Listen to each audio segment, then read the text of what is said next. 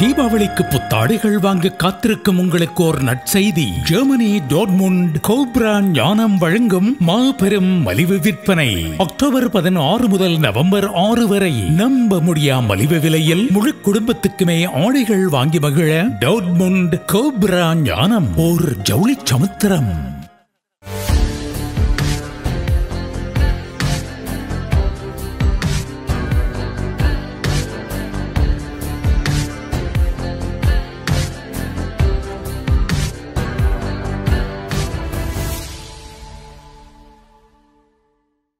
M Tamil உறவுகளே வணக்கம். Germany நாட்டு செய்திகளுக்காக வணக்கம் வேலும் மயிலும் ராமகிருஷ்ணன் அவர்களே. வணக்கம் ராஜனண்ணா வணக்கம். முப்பத்தொரு ஆண்டுகள் நாடாளுமன்ற வாழ்க்கையில் இருந்து விடைபெற்றிருக்கின்றார் அங்கலா மெர்க்கல் அவர்கள். புதிய நாடாளுமன்றம் தொடங்கப்பட்டிருக்கிறது. விவரங்களை இப்பொழுது எடுத்துக் கூறுங்கள். ஆம் அதாவது கடந்த இருபத்தி ஆறு பத்து ரெண்டாயிரத்தி இருபத்தி ஒன்று அன்று புதிதாக தெரிவு செய்யப்பட்ட பாராளுமன்றத்தினுடைய முதல் அமர்வு ஆரம்பிக்கப்பட்டிருந்தது. இதே வேளையில் ஜெர்மனியில் பதினாறு ஆண்டுகள் காலம் அதிபராக இருந்த அங்கலா மேக்கல் அவர்களுக்கு ஜெர்மன் பாசையில் என்லசம் உகக்குண்டு அதாவது இவர் பதவியிலிருந்து விலகுவதற்கான கடிதமும் ஜெர்மனியின் தற்போதைய ஜனாதிபதி வால்டர் ஸ்டைன்மயர் அவர்களால் கையளிக்கப்பட்டிருந்தது. இதே வேளையில் அங்கலா மேக்கல் அவர்கள் மொத்தமாக ஜெர்மனியின் பாராளுமன்றத்தில் முப்பத்தி ஒரு ஆண்டு காலங்கள் உறுப்பினராக இருந்திருக்கின்றார். இவர் இன்றைய தினம் பார்வையாளர்கள் இடத்தில் இருந்ததாகவும் இதன் பின்னர் தெரிய வந்திருக்கின்றது. இதே வேளையில் அங்கலா மேக்கல் அவர்கள் புதிதாக ஜன புதிதாக தெரிவு செய்யப்பட்ட ஜெர்மன் அதிபர் பதவி பொறுப்பேற்கும் வரையும் தற்காலிகமான முறையில் இதனுடைய தொழிற்பாடுகளை கொண்டு நடத்துவார் என்றும் தெரிய வந்திருக்கின்றது. ஜெர்மனியின் பாராளுமன்றத்தினுடைய தலைவராக எஸ்பிடி கட்சியினுடைய ஒரு பெண்மணி தெரிவு செய்யப்பட்டிருக்கின்றார். அதாவது லேபல் பாஸ் என்ற பெயருடைய ஒரு பெண்மணியாக இருக்கின்றார். இதே வேளையில் ஏஎப்டி கட்சி என்று சொல்லப்படுகின்ற தீவிர வலதுசாரி கட்சியினுடைய பல பாராளுமன்ற உறுப்பினர்கள் கொரோனா தடுப்பூசி போடாத காரணத்தினால் இருபது பாராளுமன்ற உறுப்பினர்கள் பாராளுமன்ற இருக்கையில் இருக்காமல் பார்வையாளர்கள் கலரையில் அவர்கள் இருந்ததாகவும் செய்திகள் கூறுகின்றனர் இதே வேளையில் தற்பொழுது எஸ்பிடி கட்சி எஃப்டிபி மற்றும் பசுமை கட்சிக்குரிய பேச்சுவார்த்தைகள் தொடர்ந்து நடைபெற்று வருகின்றதாகவும் குறிப்பாக துருக்கி அதிபர் ஏர்டகான் மற்றும் நோட் ஸ்ட்ரீம் என்று சொல்லப்படுகின்ற ரஷ்யா ரூஸ் ரஷ்யாவிலிருந்து வருகின்ற நிலத்தடி நிலவாய் சம்பந்தப்பட்ட விடயங்கள் பற்றியும் இவர்கள் கலந்து ஆலோசித்ததாகவும் செய்திகள் தெரிவிக்கின்றன. உங்கள் அபிமான தொலைக்காட்சிகளை டி டி பாக்ஸ் ஊடாக பார்த்து மேளுங்கள். எந்த நாட்டில் இருந்தும் டி டி பாக்ஸ் பெற்றுக்கொள்ளலாம். விவரங்களுக்கு இங்கிருக்கும் தொலைபேசி இலக்கத்துடன் தொடர்பு கொள்ளுங்கள். டி டி பாக்ஸ் ஜெர்மனி நாட்டிலே இடதுசாரி தீவிரவாதி ஒருவர் காவல்துறையில் பணியாற்றியிருப்பது கண்டுபிடிக்கப்பட்டிருக்கிறது. ஆம் அதாவது வந்து இடதுசாரி தீவிரவாதிகள் என்று சொல்லப்படுகின்ற பட்டியலில் இருக்கின்ற ஒரு நபரானவர் பேர்லினில் உள்ள ஒரு போலீஸ் நிலையத்தில் ஹவுஸ் மாஸ்டர் என்று சொல்லப்படுகின்ற அந்த கட்டடங்களுக்கு பொறுப்பானவராக கடமையாற்றி இருக்கின்றார். அதாவது இந்த போலீஸ் நிலையம் வந்து அதிரடிப்படை என்று சொல்லப்படுகின்ற அமைப்பில் உள்ள- இருக்கின்ற இதில் தான் இவர் பொறுப்பாளராக இருந்ததாகவும் இவர் பின்னர் போதைப் பொருள் ஒன்று உட்- உட்கொண்டிருந்த பொழுது போலீசாரால் க- இவர் கண்டுபிடிக்கப்பட்டதாகவும் பின்னர் இவர் பற்றி சோதனைக்கு உட்படுத்தப்பட்ட பொழுது இவரும் இந்த தீவிரவாத இடதுசாரி தீவிரவாதிகள் பட்டியலில் இருந்ததாகவும் தெரிய வந்திருக்கின்றது. இது விடயமாக ஜெர்மனியின் போலீஸ் அஹ், சங்கத்தினுடைய உயர் அதிகாரியான பெஞ்சமின் ஜென்ட்ரோஸ் என்பவர் கருத்து வெளியிடுகையில் இந்த விடயமானது மிகவும் பாரதூரமான விடயம் என்றும் அவர் குறிப்பிட்டிருக்கிறார் புலம்பெயர்ந்து வாழும் தமிழர்களுக்கோர் நற்செய்தி. எங்கு நீங்கள் வாழ்ந்தாலும் தாயகத்துக்கோ அல்லது உலகின் எந்த ஒரு நாட்டுக்கோ நொடி பொழுதில் பணம் அனுப்ப நாடுங்கள். டேப் சென்ட் ஆப் கை தொலைபேசி ஊடாக பண பரிமாற்றம் செய்யும் அதிநவீன செயலியை தரவிறக்கம் செய்து கொள்ளுங்கள். டேப் டேப் சென்ட் ஆப் ஊடாக முதன்முறையாக பணம் அனுப்பும் போது ஐந்து பவுண்ட்ஸ் அல்லது பத்து கெனடியன் டாலர்ஸ் ஐந்து யூரோ வெகுமதியை பெறும் வாய்ப்பும் உண்டு. Tap tap send money transfer உங்கள் கையில். அகதிகளை நாடு கடத்துவதற்காக சிறைச்சாலை ஒன்று அமைக்கப்பட்டிருக்கிறதா?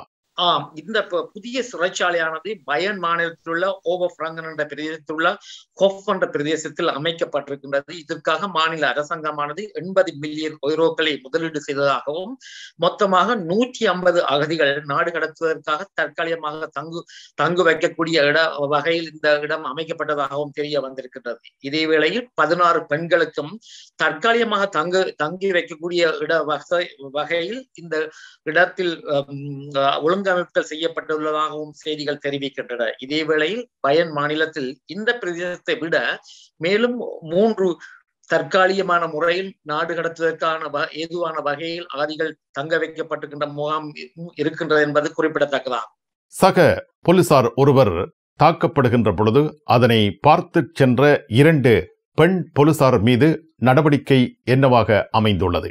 ஆஹ் இந்த சம்பவமானது நோட்ரி பிஸ்பான மாநிலத்தில் உள்ள என்ற பிரதேசத்தில் நடைபெற்றிருக்கின்றது. அதாவது ஒரு போலீஸ் அதிகாரியை போலீஸ் அதிகாரி ஒரு வாகன சாரதியை அவருடைய சோதனைக்கு உட்படுத்தப்பட்ட உட்படுத்திய பொழுது இந்த வாகன சாரதியானவர் தனது வாகனத்திலிருந்து துப்பாக்கியால் இந்த சோதனையை மேற்கொண்ட போலீஸ் அதிகாரி மீது சுட்டிருக்கின்றார். இதேவேளை இந்த பிரதேசத்தினூடாக வந்த இரண்டு பெண் போலீஸ் அதிகாரிகள் முப்பத்தி ஏழு மற்றும் முப்பத்தி ரெண்டு வயதுடைய இந்த ரெண்டு பெண்களும் இந்த விடயத்தில் எவ்விதமான நடவடிக்கைகளை மேற்கொள்ளாமல் மேற்கொள்ளாமல் இந்த பிரதேசத்தை விட்டு விலகி இருந்ததாக தெரிய வந்திருக்கின்றது. இதன் காரணத்தினால் இவர்கள் மீது ஹாகன் அரசரப்பு சட்டத்தினர் விசாரணைகளை மேற்கொண்டு தற்பொழுது இந்த இரண்டு போலீஸ் அதிகாரிகளும் வழக்கு விசாரணைக்கு உட்படுத்தப்பட போகின்றார்கள் என்றும் செய்திகள் தெரிவிக்கின்றன.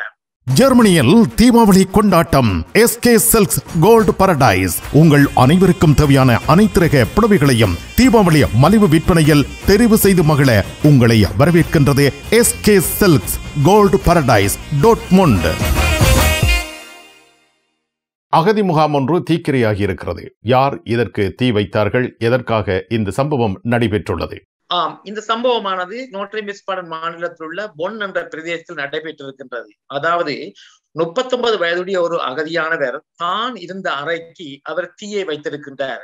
இதன் காரணத்தினால் அந்த முகாமில் இருந்த மொத்தமான ஐம்பது பேர் பாதுகாப்பான முறையில் வேறு இடத்திற்கு மாற்றப்பட்டுள்ளதாகவும் இதே வேளையில் இப்பொழுது இந்த அகதி முகாமில் மக்கள் வாழக்கூடிய நிலை இல்லை என்பதும் தெரிய வந்திருக்கின்றது. போலீசாருக்கு வழங்கப்பட்ட தகவலின் அடிப்படையில் போலீசார் இந்த பிரதேசத்துக்கு விரைந்ததாகவும் பின்னர் மக்களை பாதுகாப்பான முறையில் அவர்கள் அகற்றியதாகவும் செய்திகள் தெரிவிக்கின்றன. இதே வேளையில் இந்த முப்பத்தி ஒன்பது வயதிய நபர் கைது செய்யப்பட்டு விசாரணைக்கு உட்படுத்தப்பட்டதாகவும் தெரிய வந்திருக்கின்றது. ஜெர்மனி நாட்டிலே வங்கிக் கணக்கை பராமரிப்பதற்காக அறவிடப்படும் பணத்தொகை என்பது தொடர்பாக நீதிமன்றம் வழங்கியிருக்கும் உத்தரவு என்ன? ஆம் அதாவது இந்த விடயத்தில் ஜெர்மனியின் உச்ச நீதிமன்றம் அதாவது புண்டஸ் கெரிஸ்ட் கோஃப் என்று சொல்லப்படுகின்ற உச்ச நீதிமன்றமானது ஏற்கனவே முடிவு ஒன்று எடுத்திருந்தது. அதாவது குறிப்பாக ஸ்பாகாச போன்ற வங்கிகளில் வங்கி கணக்கு வைத்திருந்தவர்களுக்கு அடிப்படை கிபூர்ன் என்று சொல்லப்படுகின்ற அந்த வங்கி கணக்கை பராமரிப்பதற்குரிய செலவை வங்கி கணக்காளர்கள் வழங்க வேண்டும். இதே வேளையில் வங்கியானது தாங்கள் இந்த கண பணத்தை உயர்த்துவதாயின் அவர்களுக்கு எழுத்து மூலமாக தெரிவித்திருத்தல் வேண்டும். ஆனால் எழுத்து மூலமாக தெரிவித்திருந்தாலும் இந்த வங்கி கணக்கை வைத்திருக்கின்றவர்கள் இதற்கு தங்களது அனுமதியை வழங்க வேண்டும். ஆனால் பலர் இவ்வாறு அனுமதியை வழங்காத காரணத்தால் கூட இந்த வங்கியானது இந்த உயர் கட்டணத்தை தங்களது வாடிக்கையாளர் என்று அறவிட்டிருக்கின்றது. இதற்கு எதிராக வழக்கு வைத்த பொழுது நீதிமன்றம் உச்ச நீதிமன்றம் கூறிய கருத்து என்னவென்றால் வங்கி கணக்கை வைத்திருக்கின்றவர்கள் இதற்கு தங்களது சம்மதத்தை அளித்தல் வேண்டும் என்று இதன் அடிப்படையில் தற்பொழுது பல வங்கிகள் தாங்கள் பெற்றுக்கொண்ட பணத்தை அதாவது வந்து வங்கி கணக்கை பராமரிப்பதற்காக பெற்றுக்கொண்ட பணத்தில் பல பண பல யூரோக்களை திரும்பவும் வங்கி கணக்கு வைத்திருப்பவர்களுக்கு கொடுக்க வேண்டிய ஒரு அபாயம் இருக்கிறது. இதன் காரணமாகத்தான் இந்த பொதுமக்களுடைய நுகர்வோர் பாதுகாப்பு சம்பந்தப்பட்ட அமைப்பானது சில வங்கிகளுக்கு எதிராக தாங்கள் வழக்கு தொடரப் போவதாகவும் கூறியிருக்கின்றார்கள். டைமண்ட் ஹவுஸ் வழங்கும் சிறப்பு தங்க நகை சேமிப்பு திட்டம் ஆயிரம் கிராம் பூர்த்தி செய்தால் தங்க நெக்லஸ் ஐநூறு கிராம் பூர்த்தி செய்தால் தங்க சங்கிலி நூறு கிராம் பூர்த்தி செய்தால் வைர மோதிரம். விவரங்களுக்கு டைமண்ட் ஹவுஸ் இனி உலக செய்திகள். உலக விவகாரங்களுக்கு நாங்கள் வரும் பொழுது சூட் ஆப்பிரிக்க நாடான சூடானுக்கு நாங்கள் செல்ல வேண்டியிருக்கின்றது. சூடானில் ரெண்டாயிரத்தி பத்தொன்பதாம் ஆண்டு வரை ஒரு சர்வாதிகாரி ஒரு ஆட்சி இருந்த ஓமார் பல் அஷியார் என்று சொல்லப்படுகின்றவர். ஆனால் இவர் பின்னர் ஆட்சியிலிருந்து விலக்கப்பட்டிருந்தார். இவர் வந்து போர்க்குற்றத்தில் ஈடுபட்டிருந்த காரணத்தினால் டென்மார்க்கு இவரை அனுப்ப வேண்டிய சூழ்நிலையும் இருந்தது. அதே வேளையில் இன்றைய தினம் நேற்றைய தினம் மீண்டும் அங்கே ராணுவ புரட்சி நடைபெற்றிருக்கின்றது. அதாவது ராணுவ புரட்சிக்கு தலைமை தாங்கிய அப்டில் பட்டால் புரூஹான் என்பவர் தற்போதைய பிரதமராயிருந்த அப்துல்லா ஹம்டேன் என்பவரை தனது வீட்டில் வீட்டு காவலில் வைத்திருப்பதாகவும் மற்றும் பல அரசியல்வாதிகளை இவ்வாறு கைது செய்யப்பட்டு தற்காலிகமான முறையில் தடுத்து வைக்கப்பட்டிருக்கின்றதாகவும் காரணம் என்னவென்றால் இந்த அரச பிரதிநிதிகளுக்கு இடையே ஒற்றுமை இல்லாத காரணத்தினால் தான் தான் இவ்வாறான ஒரு புரட்சியை மேற்கொண்டதாகவும் வெகு விரைவில் தான் தேர்தல் அங்கே நடத்தப் போவதாகவும் கூறியிருக்கின்றார். இது முதலாவது விடயம். இரண்டாவது விடயம் இலங்கையை பொறுத்தவரையில இலங்கையில் தற்பொழுது பசலை விடயத்தில் அதாவது பயிர்களுக்குரிய பசலை விடயத்தில் பல பல்வேறுபட்ட பிரச்சனைகள் அங்கே இருக்கின்றன. சீனாவிலிருந்து வந்த ஒரு உரக்க உரக்கப்பல் ஒன்றை இலங்கையினுடைய துறைமுகத்திற்கு அனுமதிக்க முடியாது என்று இலங்கையின் துறைமுக அதிகார சபை தலைவர் என்று தெரிவித்திருக்கின்றார். இதே வேளையில் அரசாங்கத்தினுடைய இணை பேச்சாளரான ரமேஷ் பத்ரன் அவர்களும் சீனா ஒரு நட்புறவு நாடாக இருந்தால் கூட தரமற்ற பசலைகளை நாங்கள் இறக்குமதி செய்ய முடியாது என்ற துணியில் அவர் மக்களுக்காக இந்த கருத்தை வெளியிட்டிருக்கின்றார்.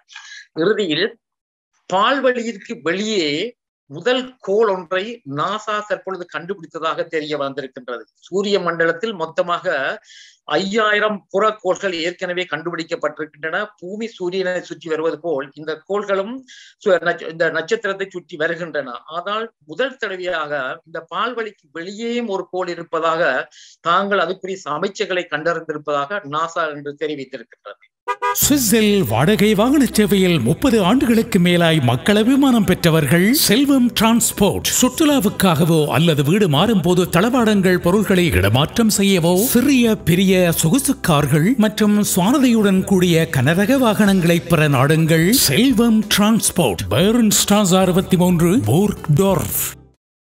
ஐரோப்பாவில் கொரோனா தொற்று மீண்டும் அதிகரிக்க ஆரம்பித்திருக்கின்றது. இது தொடர்பாக உலக சுகாதார மையம் அறிவித்தல்களை அறிவுறுத்தல்களை வெளியிட்டு வருகின்றது. ஜெர்மனி நாட்டிலும் கொரோனா தொற்று அதிகரித்தே காணப்படுகின்றது. ஆம் கொரோனா வந்து கடந்த இருபத்தி நான்கு மணத்தாளத்தில் பதினோராயிரத்தி இருநூற்றி பதினோரு பேருக்கு புதிதாக தொற்று ஏற்படுத்தி இருக்கின்றது. இதே வேளையில் இருபத்தி நான்கு மணத்தாளத்தில் இறந்தவருடைய எண்ணிக்கை நூற்றி இருபத்தி எட்டாக உள்ளது. கொரோனா நோய் தொற்று வீதமானது படிப்படியாக உயர்வடைந்து இப்பொழுது நூற்றி பதிமூன்று தசம் ஒன்று என்ற நிலைக்கு வந்திருக்கின்றது. இதே வேளையில் ஜெர்மனுடைய பல மாநில முதல்வர்கள் பல்வேறு வகையான கொரோனா கட்டுப்பாட்டு முடிவுகளை எடுத்திருந்தார்கள். அதாவது ஜெர்மனியின் நேற்றைய தினம் கூறியிருந்தேன் தற்காலிகமா இருக்கின்ற கொரோனா விடயம் சம்பந்தப்பட்ட அவசர கால நிலை முடிவுக்கு வரவுள்ள நிலையில் இப்பொழுது பல மாநில முதல்வர்கள் நாடுதளாவிய ரீதியில் ஒரு தரமா ஒரு ஒழுங்கான ஒருதலைப்பட்சமான முடிவுகளை எடுத்த எடுத்தல் வேண்டும் என்றும் கூறியிருக்கின்றார்கள். இதே வேளையில் தற்பொழுது பயன் மாநில பயன் பிரதேசத்தில் உள்ள ஒரு உம், கால்பந்தாட்ட அணியில் கால்பந்தாட்டு வீரராக இருக்கின்ற கிம்மிக் என்பவர் கொரோனா தடுப்பூசி போடாததால் பல பிரச்சனைகளை ஏற்பட்டிருக்கின்றது. இவை பற்றி பத்திரிகைகளில் இப்பொழுது கூடுதலாக எழும்ப எழுத ஆரம்பித்திருக்கின்றார்கள். ஜெர்மனியில் இப்பொழுது பல வயோதிபர்கள் ஏற்கனவே கொரோனா தடுப்பூசி போட்டிருந்த நிலையில் அவர்களுக்கு கொரோனா தொற்று ஏற்பட்டிருப்பதாக செய்திகள் கூறுகின்றன. குறிப்பாக எண்பத்தி ஐந்து வயதுக்கும் எண்பத்தி ஒன்பது வயதுக்கும் இடையில் நாற்பத்தாறு சதவீதமானவர்களுக்கு இவ்வாறான கொரோனா கொரோனா நோய் தொற்று ஏற்பட்டிருப்பதாகவும் தெரிய வந்திருக்கின்றது. இதே வேளையில் எஸ்பிடி கட்சியினுடைய சுகாதார பேச்சாளர் கால் லவுட்டபர்க் அவர்கள் இன்றைய தினம் கருத்து வெளியிடுகையில் மூன்றாவது தடுப்பூசிகளும் கட்டாயமாக ஏற்ற வேண்டும் என்ற ஒரு கருத்தை வெளியிட்டிருக்கின்றனர். மிக்க நன்றி. வேலும் மயிலும் ராமகிருஷ்ணன் அவர்களே. மீண்டும் சந்திப்போம். வணக்கம். நன்றி. வணக்கம்.